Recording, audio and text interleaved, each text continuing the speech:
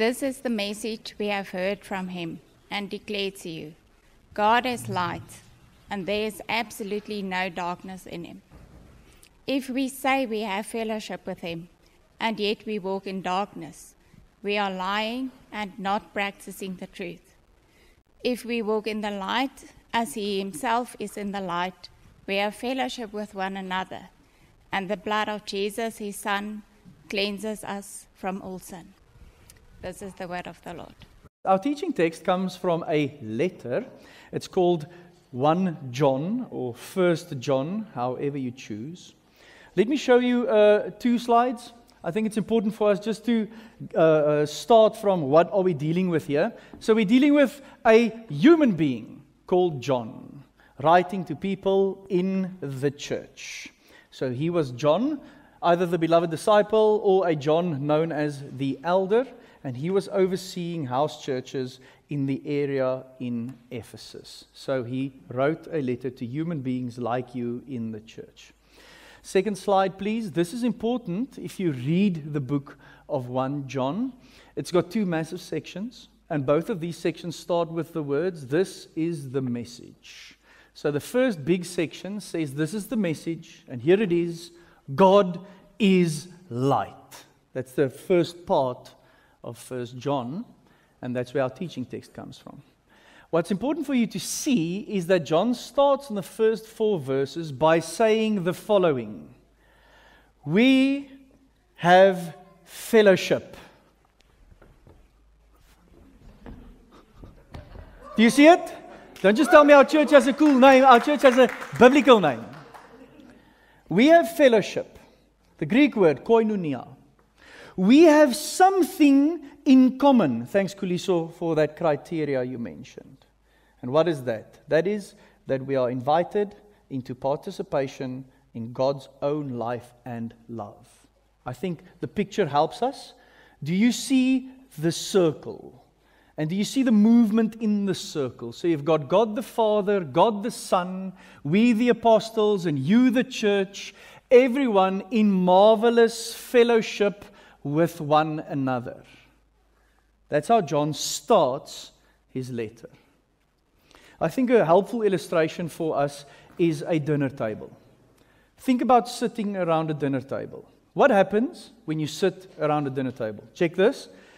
You know other people because they say they share something with you. You are known because you share something of yourself. And all of you are having your needs met because you have hunger. And that need gets met by the food. So eating at the table. John says that we eat at the table together with God. Obviously, God is a Trinity, but he mentions God the Father and God the Son and us all at the same table. Do we know that this is available to us as Christians? I think that's a really important question. Think of conversations about faith. Oftentimes, when we say share your faith or have conversations about faith, we make the mistake to think that it's all about propositions and arguments. Conversations about your faith is an invitation to a real experience. That's it. And a conversation about your faith is an invitation to a real experience that is a, an amazing and life transforming fellowship with God Himself. You can have that. We can have that. And how do we have that? Well, we walk in the light. So, our leading question for today is how do we walk in the light? Three simple answers. There you go. Just going to give you the roadmap. We walk in the light with a clear conscience, verse 6, in community, and trusting in the gospel. That's the blue slide. That has my points on it. Okay. Well, there you go. Memorize it now. I'm going to say it again. How do we walk in the light? With a clear conscience, in community, trusting in the gospel. Let me show you why we need to talk about this. The words of Jesus. Luke 12, verse 1 to 3. Is that there, Rudolf? Ah, there we go. Meanwhile, this is Luke writing, a crowd of many thousands came together so that they were trampling on one another.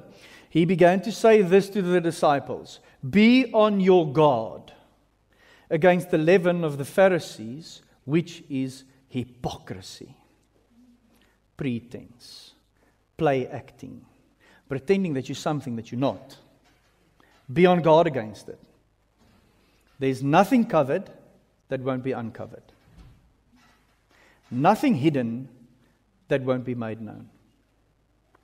Therefore, whatever you have said in the dark will be heard in the light.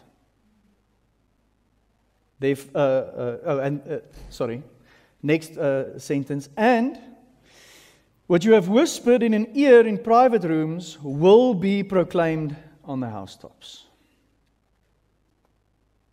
That means that you and I need this exhortation to walk in the light badly. Do you have anything covered?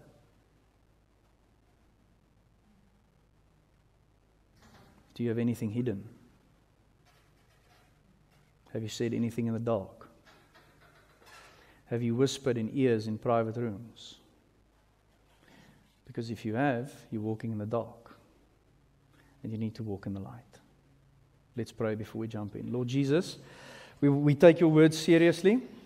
We believe that it speaks to us. And not only do we believe that it speaks to us, we believe that it cuts to the deepest place between soul and spirit in the marrow of our being. We open up ourselves now for you to do this divine surgery inside of us so that we can be healthy, so that we can be whole, so that we can grow into your image, so that we can become who you want us to be. Lord Jesus, we long for something deeper every single day. And I pray now that we would experience your word in a deeper way, that we would see you in a deeper way, that we would allow you to work in us in a deeper way, and that we would walk in faith, in light, in a deeper way. Have your way in us, Lord Jesus. Come, Holy Spirit, and move among us. We pray that in your name. Amen. Okay, so how do we walk in the light? With a clear conscience. Now, remember, the writer, John, has an audience. Okay? And this audience had different groups of people in it. I'm going to mention two, we'll circle back to them later, and then one important one. So there were people from a Jewish background. Those people were all on board with God, but they found it hard to believe that Jesus is the Messiah, right? So Old Testament God, awesome. Jesus the Messiah, not too sure. Can't we just move him to the side and talk about God? That'll be better. Then we don't have to argue. Then you had people from a Greek background in that same church saying that Jesus can't be God himself, right? Because he died. You're telling me that he's alive, but pff, I mean, there's no story like that. There's also never been a story like that. So we can't believe that he's alive because, firstly, a God won't die. And secondly, if a God is alive now, then he should probably reign. So where is he? Right? So they also said, can't we just move Jesus to the side and talk about God? So we'll talk about the Jewish and the Greek people a little bit later. Here's a biggie. There were people in church, to John wrote, that had a Gnostic religion. Right? Gnostic means knowing or having knowledge. These were people who said, Look, listen, you need to know in here the logos. It's a Greek word for the word, for the truth, for this revelation. It all happens in, a, in the mind. And what happens after that, uh, doesn't matter that much at all. Body and soul, separated really. I mean, soul is trapped in body now, but at some point they will separate. So, what you do with your body doesn't really matter. You just need to believe the right things. And now John says that cannot be. John tells his readers that uh, not only he tells his readers not only to see that God is light, but also to live in the light. Okay? So John counters those who claim union with God while really living in the darkness. That's verse 6. And he demonstrates the effect of living in the light, which is verse 7. Right? So John is speaking truth to people who claim union with God but they live in darkness. I need to ask you, is this you? Is this you? Because if it is, you need to repent. And if this is you and you're thinking about lying, you can't lie about it because verse 7 says that you can clearly see if someone is in the light or not. You simply cannot hide it. Now, John disproves this false argument that it is possible to be true to God while living in sin by reminding his audience, firstly, of the divine character of God itself. Right? Do you see it? So, because of God's character, if I live in union with Him, I live in a certain way. So, if you're claiming to be true to God, but you live in sin, then that's not the God that you, John is talking about. Right? So, that's an idol. It's a God you've made up. It's a false God. A God who does what you want Him to do is not a real God. Okay? Think of justifying your sin. Just think about that practice, that moment where you sin and then you think of a reason about why it's right to sin. I'm not going to ask you to raise your hand, but I will as your pastor. I also do this. Think of that moment. The more you justify your sin, you need to hear the sentence, the more vague God becomes. The more you justify your sin, the more vague God becomes. Why? Because you enter into a relationship with God with this really clear picture of love and grace. I mean, we sing, How sweet the sound that saved a wretch like me. All of us that have come to faith had that moment of clarity, and that is, God loves me. And He gave His Son for me, and He wants to be in a relationship with me. I see it so clearly. And then this clear picture of love and mercy and grace changes into something really complex the more you justify your sin. And all of a sudden, God becomes this character that you need to understand and figure out instead of just being a person that you should experience being in a relationship with. Do you guys, do you guys realize that? God isn't meant to be understood, God is meant to be experienced. And the more we experience Him, the more we understand Him. But when you keep on justifying your sin and you try to find loopholes in your relationship with God, then He becomes this complex being that you need to understand cause and effect. How big is my sin? How big is the punishment? Is He going to punish me? He said He wouldn't, but I mean, continuing in the sin, but I mean, it is good and it is justified, but I'm not quite sure. Okay, so here's what I'm going to do I'm going to sin and then I'm going to say sorry, and then you sin and then you say sorry, and then you realize that hurts God, God's heart, and you're just caught in this web that's unsustainable. And then all of a sudden, you're just not experiencing the Father's love anymore. Let, let me use a few examples. Think about money generosity and greed or selfishness, because those are opposites. You never need a reason to be generous because it's a response to God's goodness. Have you ever thought about that? You never have to argue to generous people to give money because they give money already as a response from God's goodness. But you always need a reason to be selfish or to be stingy or to be greedy. Think about this. I know that I should let this go, but I'm not. So, what do I need now? I need a reason not to let this go. Okay, so now I need to argue for this. God's generosity and His abundance and His goodness that He's given me becomes really vague because now you're arguing against embodying it. Do you see how this happens? And the more you argue against what God wants you to do, the less you actually do what He wants you to do. And money is a biggie for us. And now, all of a sudden, as you become more stingy and more selfish, God just isn't this abundant, gracious, loving God to you anymore. And now, all of a sudden, you see Him to be selfish and greedy and wanting the stuff you want for yourself. So, God becomes coerced into your own needs. Do you see how quickly that happens? Just because you're walking in the darkness, but you say that you're not. So, whoever you worship that says you don't need to be generous, that's not the God of the Bible. Think about sex. Teenagers, you need to hear this. Sex has a purpose and a place according to the Bible.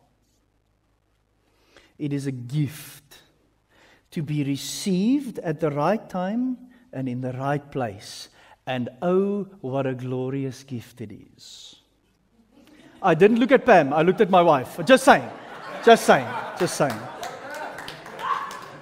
As you receive this gift, listen, you are participating in created order for the well being and flourishing of mankind. And now you fall into sexual sin, and what happens? It's all about your needs and your desires.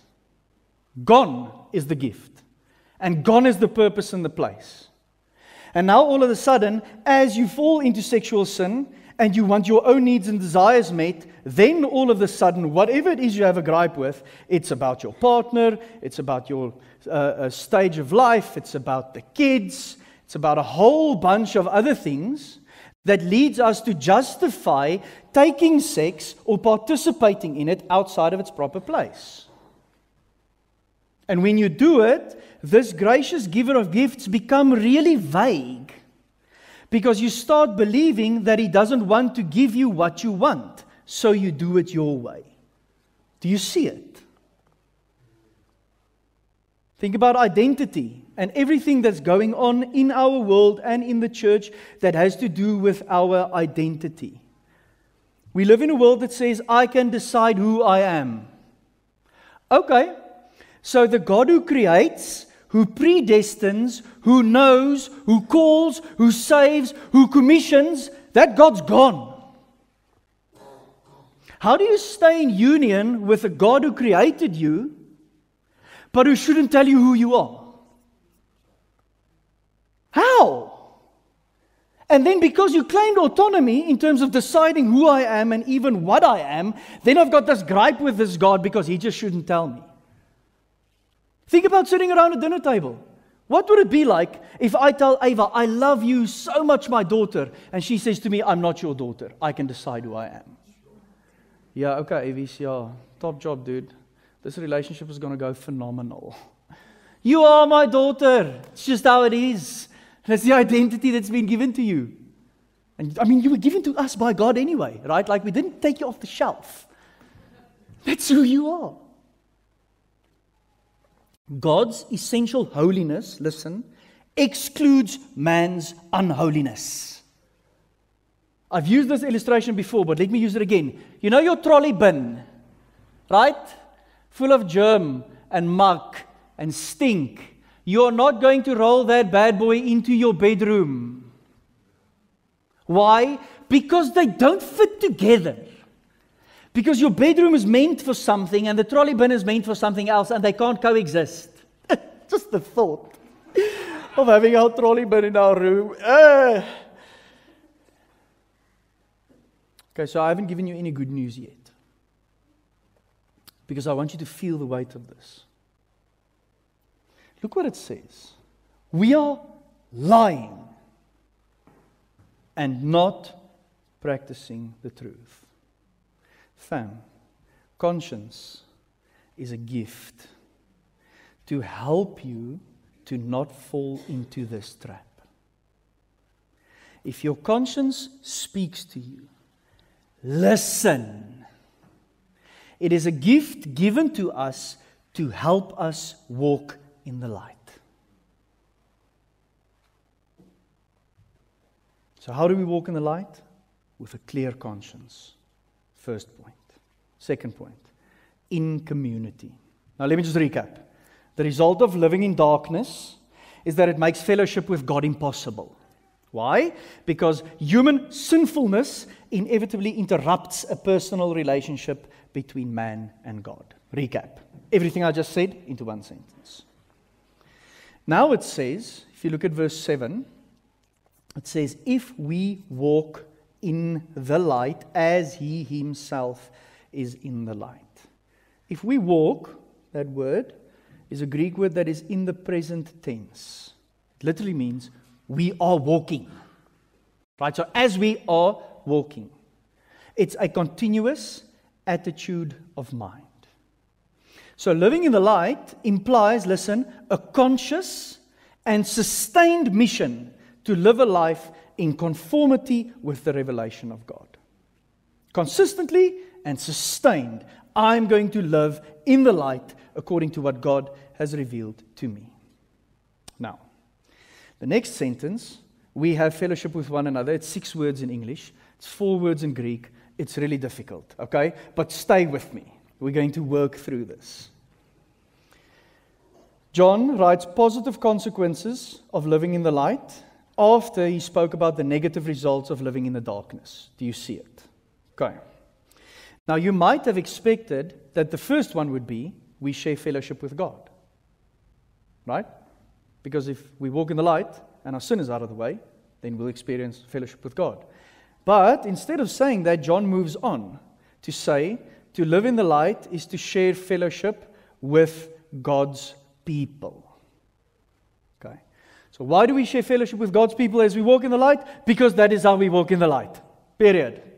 John doesn't explain it. He doesn't give us a reason why fellowship with God goes hand in hand with fellowship with God's people. He just says, that's how it is. So it's a given for John, this is important, that fellowship with God involves fellowship with his people. The reason why I used the table illustration earlier is because it works in this one as well. Like, how do you speak to only one end of the table? Is if everyone else is there. Think about it. Like I sit around the table, the Godhead and his people. Look, God, I don't like your people. So I'll speak to you. It's going to be a phenomenal dinner for the rest of eternity. Uh, me and you, we good. How can you do that? That's exactly what John says. So whether you like God's people or not, we're all in the same circle. Think about that picture illustration in the beginning.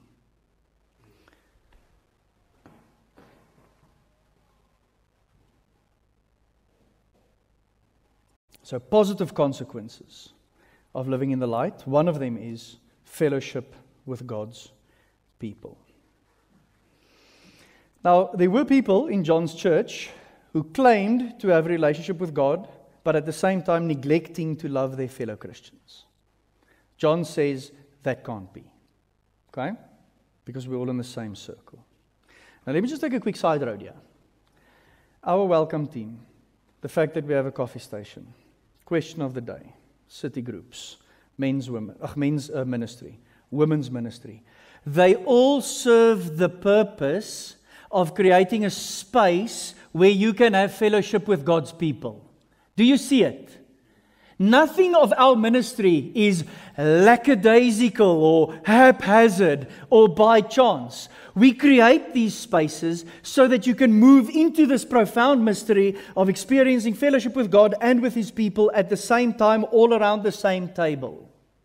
That's why we do what we do. And if you are never, listen, if you are never in any of these spaces, or in spaces similar to it, you can't claim that you are okay with God. Because that's what people tell me. Look, dude, you don't have to worry.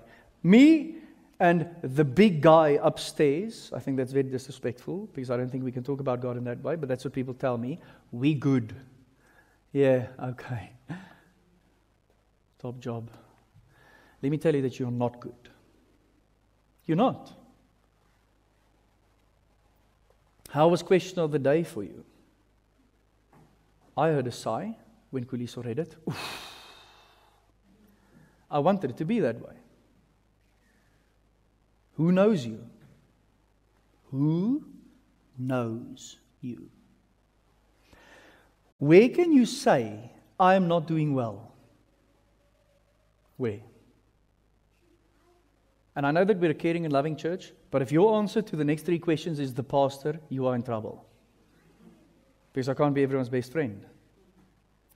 Where can you say, I absolutely lost it yesterday? Where? Where can you say, I am addicted and I need help? Where? You will be able to walk in the light if you are in community. And if you are in community, you will have a space to say these things. What do you think? How are we doing here as a church? I thought about this. I would say we are scoring 50%. Meaning 50% of our church is in community, but 50% of our church is not. And the only thing that I can say to that is we are trusting God that He will grow this part of our ministry. We're not blind to it. It's not like we're not trying. But like I can't I can't make you love one another. Do you know what I mean? The Spirit needs to do that inside of you. Okay. It's been a heavy one. Let's end this sermon with some great news. So, how do we walk in the light? With a clear conscience.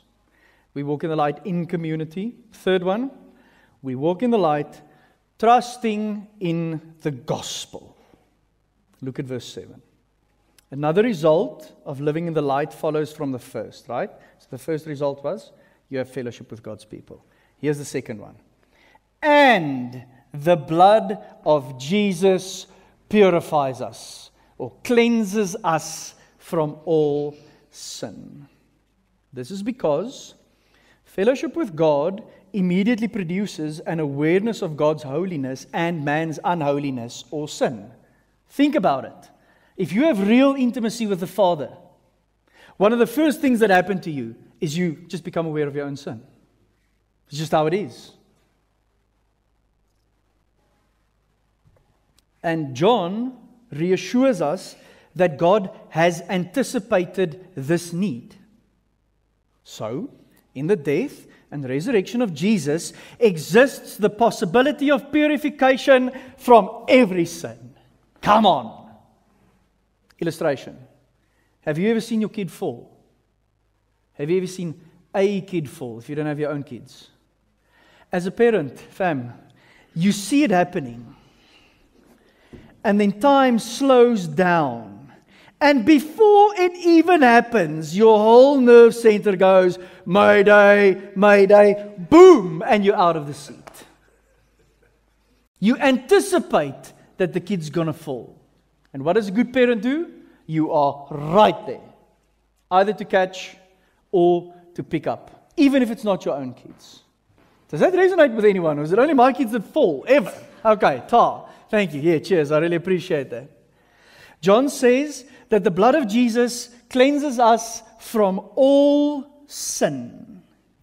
Now, the term blood is a symbol for the crucifixion of Jesus, and its background comes from the Jewish sacrificial system. Quick side note last year we preached a series called That's Great News.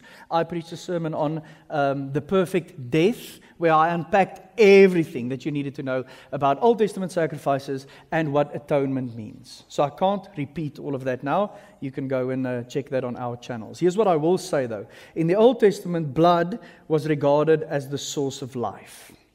And in terms of a sacrifice, as a means of atonement, to make at atonement between man and God, to bring man and God together again, the blood of an animal was thus its life that was given up in death. And then the sprinkling of that blood guaranteed the worshipper, the person who brought the sacrifice, the effectiveness of that sacrifice, right? So I have to pay for something, I did something wrong, this blood will pay for it. Whew, now I'm in the clear again. Now, the blood of Jesus occupies a really important place in the New Testament, and it must be interpreted above the uh, specific background of the Day of Atonement, right? In terms of Jewish religion and Jewish sacrifice. So there was one day a year where the high priest would bring a sacrifice, and that sacrifice would be the I, I did actually know how to write it in English, so I'm just going to read it to you. It had to be the most perfect possible sacrifice. Because it couldn't be the perfect sacrifice, but it also couldn't be like a half baked sacrifice. So it had to be the, the most perfect possible sacrifice once a year, which could atone for everyone's sin for a whole year. Problem with that is it had to be repeated. Now, here's the good news. Tune back in. In his suffering and death, this is what John says Jesus, in perfect obedience, offered the true and lasting sacrifice for sin. True and lasting sacrifice for sin. So, to say here that the blood of Jesus purifies us from every sin means that in the cross of Christ, listen to this, our sin is, this is a ripper, effectively and repeatedly removed. Do you see it? Effectively and repeatedly removed. That word purifies, or in this um, translation, it's translated as cleanses. It is a present continuous verb, meaning it's happening now and it'll keep on happening forever. And ever and ever, ever, forever, ever. Ever. It's only people who were teenagers in the early 2000s that would get that song. So, how do we walk in the light? We trust in the gospel. Again and again and again and again. Yes, you today, if you need to know that you are cleansed from all your sin, you can know that today and tomorrow and the following day forever. The sacrifice which cleanses us from every sin is described as, and this is important, Jesus, uh, the, blood of, the blood of Jesus, his son. That was carefully chosen by John. Why? Because he says what he believes about Jesus, and he provides an answer to the views of those who were making or were, who were inclined to make false claims about Jesus. Do you remember I said earlier we had the Jewish folk and the Greek folk, and both of them had a problem with Jesus? Now, check this. Now, John says, Jesus, his son. He says that so that those with too high a view of his person, meaning the people who said he couldn't be a human, he reminds them that he was genuinely a human. Why? Because he uses his earthly name, Jesus, like he was a historical figure, born, a human being. And then on the other hand, for those who say, uh, who, who had a view of Jesus that was too low, right, meaning that he couldn't be God, he recalls them to the truth that he was also God's own son. Why? So that he could pay the sacrifice, so that he could offer the sacrifice perfectly. Do you see it? I mean, it's only three words, but it's so sharp from John. This is the one who shed his blood for us. Jesus, his son, who effectively and repeatedly removes our sins so that we can be cleansed, so that we can walk into the light. This Jesus in the Gospel of John, probably written by the same person, says, I am the good shepherd. Right? The one who brings life in abundance, the one who gives life in abundance. I want to give you a warning, fam. This is where the enemy hits us the hardest. Can I remind you that the enemy, Satan, the source of evil in this world, is a thief. And what he does is he only steals, kills, and destroys.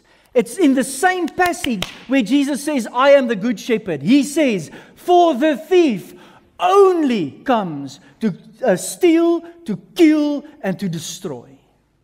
The thief is not your friend. The devil can't be your buddy. He only steals. He is a liar. And here it is. Here's what he tells you you won't get another chance. That's what he tells you. So every time we fall into sin, every time we do walk in the darkness, the enemy tells us you won't get another chance. Or check this, he tells us it's not worth trying again. I know people that have given up on their Christian faith because they believe that lie. Now, if I was a very charismatic preacher, I would have now shouted, Liar! But I'm not. He's lying. He's lying. Because the Bible tells us that Jesus effectively and repeatedly removes your sin. And he Today can be that day for you again. So, how do we walk in the light? We walk in the light with a clear conscience. We walk in the light in community. And we walk in the light trusting in the gospel. I want you to think about your response today. Do you have a conscience that you need to deal with? Because if you do, deal with it now. You'll find grace. Absolutely only grace. Are you convicted of the fact that you love God but you don't love His people? Are you one of those people that say, God and I are good, but you don't care about everyone at the rest of the table? Because if you do, you need to repent and you need to come and sit at the table and you need to speak to the very people that you don't like. Do you know that there are people around the table who also don't like you. That's really important. People tell me how messed up Christians are. then I ask them if they've realized how messed up they are. Right?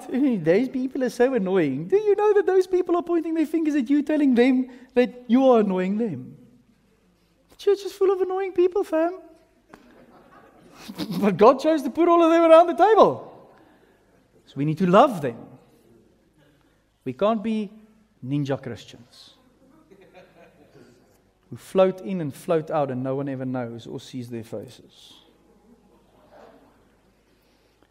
Lastly, do you need to believe the gospel again? Again. I mean, you, you, might have to believe it for the first time, that's also possible. But do you have to trust the gospel again? Fam, there's nothing sweeter than confessing your sin and knowing that the blood of Jesus, his son, human like I am, knows all my trials but divine like God is, gracious and loving, cleanses us from all sin. There's nothing more satisfying than experiencing that. The best possible way that I always think about it is me approaching God, asking Him to talk about my sin. And then He says to me, I don't know what you're talking about. It's all done, it's gone. Wouldn't have to do it again. Just think about the freedom and the good news that comes with that. So, whatever it is that you need to respond to, I want to pray for you. So, let's pray, and then we're going to respond by singing that we have a good, good Father. Oh, yes. Let's pray. Lord Jesus, I pray for all of us that needs to obey our conscience. I pray that we would have the conviction that walking in the light is much better than walking in the darkness. That we would have the conviction that your holiness excludes our unholiness and our sin. That we would have the conviction that we are headed down a path of death and theft and destruction.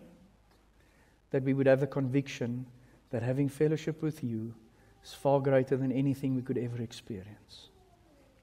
Father God, I pray for us who needs to plug into community, who believes the lie that we don't need fellowship.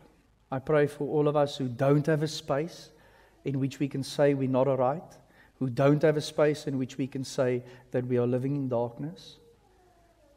I pray that you would graciously give us the spaces and the, the relationships in this community where we can have that, embody it, and experience it. And I pray that you would take away all of our prejudices and all of our man made boundaries that we erect between us and other people so that we can truly experience the wonder of being part of your transcultural church.